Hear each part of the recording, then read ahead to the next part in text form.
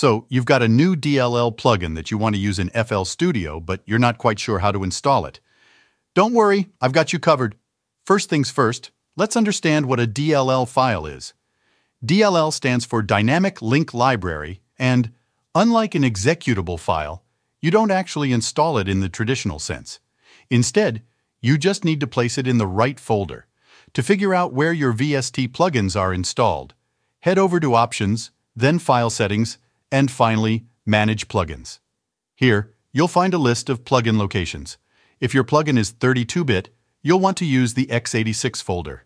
Otherwise, just stick to your regular Program Files folder. Now, all you need to do is drag your DLL file into the folder you found for Managed Plugins, and you're good to go.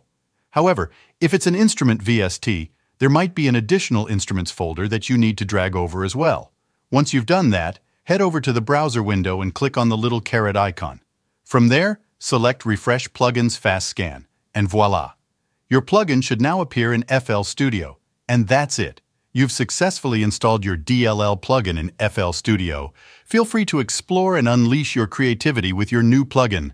Thanks for watching, and I'll catch you in the next one.